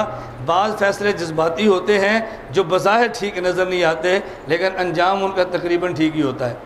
ये रावला कोट के आगे की जगह है। मैं वहाँ गया। गुजर रहा था, हजीरा मैंने जाना था तो रस्ते में थोड़ी देर के लिए रुका। मुझे वहाँ साथियों ने कहा कि तबलीग की बरकत से दीन के साथ जुड़े हैं। हमने मस्जिद शुरू की और बड़ी ख्वाहिश थी कि हम मस्जिद अपनी बनाए। जहाँ जाते जगह ख़रीदने के लिए और वहाँ खाई गला, गालिबन जगह का नाम है तो वहाँ एक ना कोई आल बिदत पहुँच जाता और ज़मीन वाले को हमारे ख़िलाफ़ मुतरफ़र करता कि ये लोग वहाँ भी हैं और इससे बच के रहना, इससे बच के रहना। खैरों में जगह ना मिलती। हमने फिर यही फैसला किया कि शहर के अंदर एक प्लाज़ा बन रहा था। हमने उस प्लाज़े की आखिरी मंजिल पूरी ख़रीद ली। मैंने वहाँ नमाज़ भी पढ़ी है, वहाँ जाकर बयान भी किया है। उन्हें कहा था, हमने प्लाज़े की पूरी मंजिल ख़रीदी। प्लाज़ा मुकम्मल हो गया, आखिरी मंजिल इन्होंने ख़रीदी थी। तो जब दुकानें बनी, इनने उनकी दुकानें ख़त्म करके सारी को मस्जिद बना दिया अब ज़ाहिर अपने प्लाज़ा था ना, चाहे तो मस्जिद बनाए, चाहे मदरसा बनाए को रोक तो नहीं सकता था। गैर मुकलदी ने क्या काम किया? जमात दावा का एक शरीर वहाँ पर आ गया और उसने नीचे दर्जियों की दुकान बना रही वहाँ पे गजवा रसाला भी रख लिया और अपना गजवा उसने रख लिया, उनका जो हफ्त रोज़ा निकलता है और दूसरे अपने किताबें लाकर काम शुरू कर दिया। अब जिस बेचारे को ये मेहनत करके दस दिन लगवा लें, ये शाम उसके घर पहुँच जाए। जिसको ये सरोजे पर ले जाए, शाम गैर गलत पहुँचे इनका गश्त होना था नमाजी बनाने के लिए और उनका शाम गश्त होता नमाजी को ख़राब करने के लिए। दोनों अपने अपने काम की तरफ़ लगे हैं। एक ही ड्यूटी अल्लाह की तरफ़ से है, एक ही ड्यूटी खन्नास की तरफ़ से है। दोनों लगे अपने अपने काम के अंदर। ये कहते हैं, हम बड़े परेशान इसका हल क्या निकालें? जब इन्होंने मस्जिद बना दी, नमाज़ शुरू की, ये नमाज़ से फारग हूँ तो गैर मुकलदाज हर नमाज़, ये फारग हुए वो आगे, एक को आगे खड़ा करना है और तीन पीछे खड़े हैं, तकबीर क्या नहीं और नमाज़ पढ़ा लेनी। ये कहते हैं, हम बहुत तंग हुए, इसका हल क्या निकालें? हमने बहुत उनको समझाया कि हमने मस्जिद ली है, जगह ख़रीदी है, हम आल सुन्नत वल जमात हैं, तुम्हारा हमारा मसरक नहीं मिलता, तुम अपनी मस्जिद बनाओ, और अगर हमारे पास नमाज़ पढ़नी है तो हमारे पीछे नमाज़ पढ़ो, ये फ़िज़ा ख़राब क्यों करते हो? लेकिन वो इससे बाज नहीं आएँगे। कहते हैं बिल आखिर एक दिन हमारे लड़के देते तो तबलीग वाले, लेकिन उनको भी एक दिन जोश आ गया। ठंडे आदमी की जब जोश आए ना तो वो जोश बड़ा ख़तरनाक होता है। ये ज़ोर के बगैर नमाज़ पढ़ रहे थे, वो तबलीग वाले साथी आए और नमाज़ पढ़ते हो इमाम साहब को उठा रही और कमरे में ले गए। उसकी जो धुलाई की ना, कहते हैं, एक उसकी धुलाई होगी, उसके बाद हमारी मसर बहमदिल्ला इनके नपाक जिसम से पाक होगी। अब दोबारा उन्हें वहाने की हिम्मत नहीं की तो बज़ाहिर कभी आदमी महसूस करता है कि काम ठीक नहीं है, लेकिन कभी कभी सही नतज के लिए ऐसे कामों से गुजरना पड़ता है। अल्लाह हम सबको आफ़ियत के साथ दीन की खिदमत करने की तोफ़ी का ताफ़रमाए गैर मुकलदीन एक आध दलील देख लें, बाकी दलाल सारे लिखे पड़े हैं। मेरा इरादा यह है कि इन हम कल वाला मसला तरक रफुलदैन वाला मुकम्मल करें तो फिर ये जो चार मसाइल हैं ना, इन चार मसाइल पर मैं सही बुखारी सामने रख के आपको उनके दलाल बताऊँगा, उसका तर्जिया करेंगे कि सही बुखारी इन चार मसाइल में उनका साथ देती है कि नहीं देती। बुखारी का रूप डालते हैं ना, कि जी हमारे पास बुखारी है, बुखारी में रफुलदैन है, बुखारी में अमीन बिलजार है, बुखारी में है तो मैं इन सही बुखारी सामने रख कर चार मसले आपकी खिदमत में पेश करूँगा, ताकि आप देखें कि बुखारी उनका साथ देती भी है या सही बुखारी उनका साथ नहीं देती। अगर तो चार की बजाय जो मसले पढ़ाने हैं, वो सारे पढ़ लें, तीन तलाक वाला देख लेते हैं तरावी वाला देख लेते हैं, जो मसाइल मेरे ज़िम्मे हैं, या सारे मसाइल मुझे पढ़ा लेने दें, और मैं फिर बुखारी शरीफ खोल कर बैठ जाऊँगा, और सही बुखारी पर फैसला करें, तर्क रफुलदैन पे, आमीन बिसर पे, और इसी तरह तर्क गिरात खलफल इमाम पे बाजुलदैन तहत सुर्रा पे, बीस रकात तरावी पे, तीन तलाक पे, मसला हयातुलम्बिया पे, ये जितने मसाइल हैं जो हमने पढ़ाने हैं, इन तमाम मसाइल में अल्लाह गवाह है, मैं सही बुखारी सामने रख के आपसे फ़ैसला लूँगा कि बुखारी हमारा साथ देती है या इनका साथ देती है आप देखें कर लें ऐसा इन एक दिन इस पर लगा लें कि सही बुखारी सामने रख के कि आप देखें बुखारी साथ के इनका देती है। एक किताब इख्तलाफी मसाइल तो आपके सामने आए ना तो आपके आपको अंदाज़ा हो। हमने कई बार मशवरा किया लेकिन बस फिर कोई साहब बन नहीं पाता और काम रह जाता है।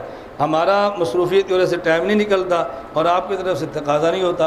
अगर तकाजा करने वाले अपने तकाजा रखते रहे ना फिर बंदा तरतीब बना लेता है। मैंने सादा से मशवरा करके दो काम करने का इरादा किया था तलबा और ज़्यादातर मदरसिन के लिए। हमारी ख्वाहिश है उसमें मदरस शिरकत करें और तलबा भी तबा शिरकत करें। खा या मरकज़ में रख लें या किसी भी जगह पर दो काम। नंबर एक, अकीदा तहाविया बतौर मतन और सात अकायद को बतौर शरा पढ़ाएँ। यानी तीन दिन का कोर्स रख लें, सिर्फ़ तीन दिन का। उस तीन दिन में पूरा अकीदा तहाविया पढ़ा दें, अकीदा तहाविया छुपा लें, जितने सामिन हर किसी को अकीदा तहाविया दे दें, साथ के भी अपनी कापी पेन से ले लो, अकीदा तहाविया को मतन बना के अपने अकायद को पढ़ लें तो ये राय ठीक है या गलत है? अगर कभी ऐलान करें तो आप आ जाएँगे या नहीं आएँगे? मतलब कि आप इसको आम फरमा दें, आपके मोबाइल नंबर हमारे पास है, मैसेज देंगे। एक, दूसरा हमारे जहन में ये था कि कुछ दिन ऐसे मुकर करें खा उसमें दस दिन हूँ, पंद्रह दिन हूँ, बीस दिन हूँ।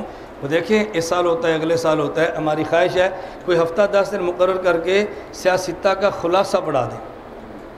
सियासता का खुलासा मसल एक दिन है, पूरा सही बुखारी, सारी निकलवा दें। मतलब सही बुखारी कैसे निकलवाएँ? जो मौजूदा दौर के फ़ितरे हैं ना, वो फ़ितरे सामने रख लें और उस फितरों में देखें कि इमाम बुखारी हमारा साथ देते हैं या उनका।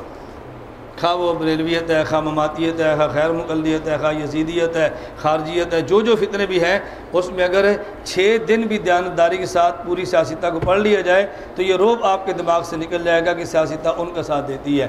तो ये राय ठीक है कि नहीं? हम ये नहीं कहते कि आप शिरकत करेंगे नहीं, हम पूछते हैं राय ठीक है कि नहीं? हमारी ख्वाहिश है कि इन इस तरह करें। अच्छा इसी तरह कुर्रा के लिए हमारा बहुत प्रोग्राम है, बस फिर रह जाता है। मैं अभी एक दो कारी हजरात से मैंने मशवरा किया। हमारी ख्वाहिश है कि जैसे दौरा तहकीकमसाइल होता है, हम अगर तरतीब बना के किसी वक्त कुर्रा कराम को बुलाएँ। यानी हमारे पंजाब में, मुख्त मदारस में जहाँ सिर्फ़ तजवीज़ होती है, उनसे जाकर मिलें और उनसे गुजारिश करें भी आप तजवीज़ के अपने तलबा को एक हफ़्ते के लिए हमें दे दें। हफ़्ते को आए, जुमेरात चले जाएँ छः दिन हमें दे दें। हम पूरे छः दिन एक तजवीज़ पढ़ने वाले तलबा को मसलक समझाएँ, ताकि बहुत बड़ी तादाद उन तलबा की होती है जो मुजवद और कारी तो बनते हैं, मुकम्मल आलम नहीं बन पाते। वो ख़ुद बच्चों की तरबियत के और फितरों से महफूज रहें।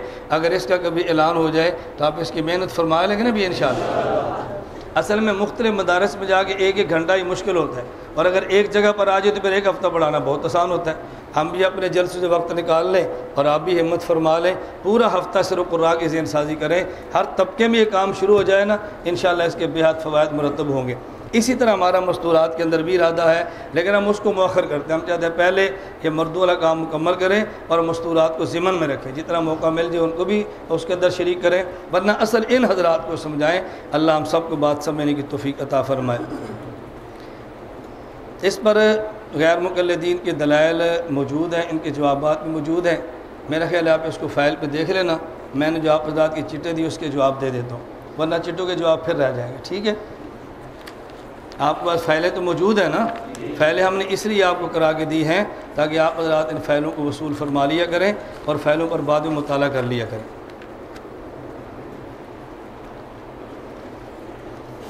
कि ये तालब इलम है मोहम्मद नईम, ये मौलाना आतिफ साहब के पास आपके ख्वाब की तबीर पड़ी है यह मौलाना से ले लेना।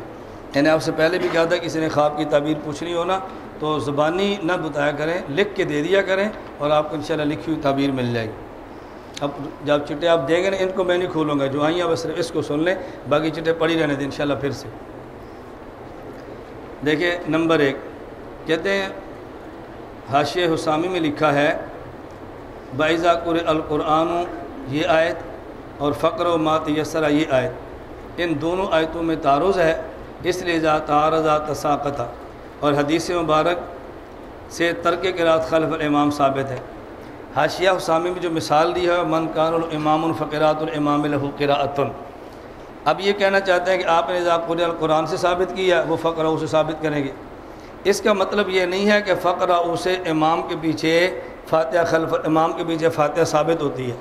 उसामी की हाशिए में लिखा है कि इज़ाकुर अलकुरानों के अमूम से अगर इमाम के पीछे तर्क गिरा साबित है तो फ़क्र व मात यस तरह से कोई बंदा कह सकता है कि अपने अमूम से मुख्तदी के लिए फ़ातह भी साबित है। फ़क्र व मात यसरा कुरान में से जो भी आसान हो सकता है तुम पढ़ो, ये ख़िताब मुख्तदी को भी है, इमाम को भी है और मुनफरद को भी है। इसके अंदर फातह भी शामिल है, बाकी एक सौ तेरह सूरत भी शामिल है। तो फ़क्र अपने उमूम की बुनियाद पर इमाम के पीछे मुख्तदी के लिए फातिहा को साबित करती है। असला ये मौक़ साबित हो नहीं सकता गैर मुकलदीन के लिए। क्यों? इसलिए कि उनका जो दावा है, वो मुतलक के रात खलफल इमाम का नहीं है, बल्कि ख़ास के रात खलफल इमाम का है। फ़क्र मुतलक के रात का नहीं है, बल्कि अगर इससे आप साबित करेंगे तो फिर कोई बंदा कह देगा कि नहीं भाई, फातह के अलावा सूर्य बकरा जब इमाम पढ़े तो पढ़ लिया करो, क्यों? फ़क्र ये मुतलक है। तो उनके दावे से साबित होता नहीं है। लेकिन उसामी की हाशी में अगर इसको मान भी लिया जाए, इससे उनका मौक़ साबित है। तो हम ये कह देंगे, चलो इजा तारदा तसाकता, लेकिन इजा पूरे अलकुरानों से हमारे मौक़ की नफ़ी तो नहीं ना हो रही। तो बात समझ आई? है हमने कुरानों से इमाम के पीछे किरात का तर्क साबित किया था ना? तो तर्क किरात इस आयत की नफ़ी नहीं हो रही। ज़्यादा से ज़्यादा इस आयत के मद्द मुकाबले ला के तारो साबित करेंगे ना, लेकिन जो हमने मसला साबित किया, वो तो आयत से साबित हो रहा है कि नहीं? फ़र्ज़ नमाज़ के बाद इज्तमाही दुआ का सबूत कुरान हदीस की रोशनी में। देखें फ़र्ज़ नमाज़ के बाद इज्तमाही कुरान करीम है, फ़ैज़ा फ़रख्ता फ़नसब। फ़ैज़ा फ़रख्ता ऐ मिनसलातमकतूबा फ़न सब ऐ दुआ। जब नमाज़ से फ़ारग हो जाए तो दुआ में मशगूल हो जाए। एक है नफ्स दुआ के इज्तमाही दुआ। रसूल वसम से पूछा गया अयो दुआ असमा, सबसे ज़्यादा कौन से वक़्त में दुआ कबूल होती है? तो रसूल वसम ने उसमें इस दुआ का ज़िक्र फरमाया दुबरसलातमकतूबा फ़र्ज़ नमाज़ के बाद की दुआ। अब बताओ, नबी पाक सल्लल्लाहु अलैहि वसल्लम फ़र्ज़ पढ़ा के दुआ मांगे तो क्या मुमकिन है साबी उठ के चला जाए? अच्छा इससे आप कहेंगे ये जी, ये सराहतन तो साबित नहीं हो रही। एक रवायत मौजूद है, हज़रत रसूल वसम से साहबी फरमाते हैं सल कमा रसूल अलफ़जरा, फ़लम्मा सल्लमा इन सराफ़ा बदा बरफ़ा ये दी है रसूल वसम फ़जर की नमाज़ पढ़ाई, आपने सलाम फेरा, पीछे मुतवजह हुए, हाथ उठा के दुआ मांगी है। सवाल ये है, अगर मुख्तरियों को दुआ में शामिल नहीं करना था तो फिर मुख्तरियों की तरफ़ मुँह करके दुआ की ज़रूरत नहीं थी। रसूल वसम की तरफ़ मुँह करके दुआ मांग सकते थे। और अला बिन हजरमी रज़ी अल्लाह तु से अलबिदाया बन नहाया में है कि उन्हें एक मरतबा नमाज़ पढ़ाई। वो इमाम बने बाकी साहबा मुख्तरी थे। सलाम फेरने के बाद घुटनों के बल खड़े होकर वो दुआएँ मांगते रहे और साहबा आमीन फरमाते रहे। अब साहबा के कराम रज़ी मजमाइन का अमल, ये खिलाफ सुन्नत तो नहीं ना हो सकता। और दूसरी बात जो असल है कि उम्मत के जो जो अमल उम्मत के तवारस और तामर से साबित हो, उसकी नफ़ी इतनी जल्दी नहीं करनी चाहिए। लाइब्रेरी में तहरीर मौजूद है कि जिस पर मौलाना गुलाम ख़ान ने दस्खत किए थे रकीदा हयात कबूल किया था आपने देखा? बिल्कुल। ये मेरे पास उसकी जो कि कापी मौजूद है ये है मानामा तलीम कुरान इनका जिसके ऊपर शेख की दस्तखत मौजूद है। ये इबारत है वफ़ात के बाद नबी करीम सल्लल्लाहु अलैहि वसल्लम के जज्द अतर को बरदक यानी कबर शरीफ में बताल की रूह हयात हासिल है और आ, आ, इसकी हयात की वजह से रोज़ अकदस पर हाज़िर होने वालों का आप सलाम सुनते हैं। आखर मोहम्मद तैयब भारत राव, हाल रावलपिंडी लाश मौलाना गुलामुल्ला ख़ान, मौलाना काजी नूर मोहम्मद, मौलाना मोहम्मद अली जलंदरी ये तरीमुल कुरान है। तो तमाम साहब कराम महफूज हैं रज़ी भी उनके लिए आया है और अहनाब की अकीदा भी यही है। फिर ये हदीस मर नबी वसल्लम अलक़बर अहदुमा कहते हैं, जब साहबा महफूज है तो जब अल्लाह के नबी दो कब्रों से गुजरे, उनमें दोनों को अजाब हो रहा था तो फिर कब्र का अजाब कैसे है? ये कैसे साबित हुआ कि वो कब्रें साहबा की थी? ये कहाँ से आपने साबित किया ये तो साबित हो गया रसूल वसलम गुजरे, दो कब्र वालों को अजाब हो रहा था, लेकिन ये कहाँ साबित है? कब्रें साहबा की थी। पहले ये सबूत पेश करें कि साहबा कब्रें थी, फिर साहबा पर इतराज़ फरमाएँ। मौलाना ज़िक्र जारी का क्या हुक्म है, मैंने आपको बता दी है। कौन सी फ़िका का इनकार करने वाला काफिर है? मखसूस फ़िका का इनकार करें, मुतलक फ़िका का। मैं जवाब दे चुका हूँ ना? आपने बयान किया, फ़जर की सुन्नतें पढ़ने वाला इमाम की नमाज़ में शरीक नहीं है, लेकिन मसला ये, अगर कुरान नमाज़ के अलावा भी पढ़ा जाए तो फिर भी कुरान खामोशी सुनना चाहिए। ना, ये वाजिब नहीं है। नमाज़ के बाहर अगर कोई बंदा कुरान पढ़े तो दूसरों के लिए सुनना दर्जा वजूब में नहीं है। ये अदाब के अंदर शामिल है। अदब और होता है और वजूब और होता है। अगर ये आयत नमाज़ में कुरान मजीद पढ़ने के मतलब है तो फिर क्या नमाज़ के बाहर कुरान मजीद की बेअदब ना होगा? मैंने कहा, खिलाफ अदब और होता है और वाजे पर अमल न करना और होता है। अदाब का तकादा यही होता है, लेकिन अगर कोई मजबूरी किसी काम में आदमी लगा हो और ना सुन सके तो गुनाह नहीं होगा। डॉक्टर जाकर नायक के बारे में कोई किताब है? हकीकत जाकर नायक किताब से छपी है, हमारी किताब नहीं है। गुजारिश है कि दौरान सबक हमें अपनी कारगुजारी का ज़िक्र किया जाए। तो बहुत नफ़ा होगा। दूसरी गुजारिश है कि आप आमदजुल अपने पीरियड का टाइम ज़्यादा हो जाए तो बहुत बेहतर होगा। देखें, जिस, जितनी कारगुजारी मुनासिब है, उतनी तो मैं पेश कर देता हूँ। और जितनी आपके लिए कबूल करने में दिक्कत पेश आए, उसको मैं छोड़ देता हूँ। कुछ ना कुछ कारगुजारी तो लाते हैं। बाकी पीरियड के टाइम वही होगा जो हमारी तरतीब से चल रहा है। सारे इसबाक तो मेरे ज़िम्मे नहीं है और आपके सामने नज़र आता है, मेरी मजबूरी होती है। अगर मैं इसबाक ज़्यादा पढ़ाता हूँ तो बाकी काम सारे रह जाते हैं। उसमें मेहमान होते हैं, घर के काम है, बाहर के काम है, उन सारे कामों को संभालना पड़ता है। इसलिए पाबंदी के साथ ये सबक चलाएँगे और इन मैं कोशिश पूरी करूँगा अगले हफ़्ते के आखिरी दिनों में वो दो चार मसाइल ऐसे हैं जिस पर वक़्त ज़्यादा दूँ। मामूल के मसाइल को चलेंगे खसूस अकीदा हयातनबी सल्ला वसम पे। मेरी ख्वाहिश है कि मैं दो तीन घंटे लगा के पहले आपको अकीदा समझा लूँ, फिर अकीदे पर दलाइल की बात कर लेंगे इन दलाइल आदमी समझता है, पहले नफ्स मसला को समझे। नफ्स मसला समझ आ जाए ना, फिर दलाइल को समझना और बात करनी बहुत आसान होती है। अल्लाह ताला हम सबको आफ़ियत के साथ दीन की खिदमत करने की तोफ़ी अता फ़रमाए।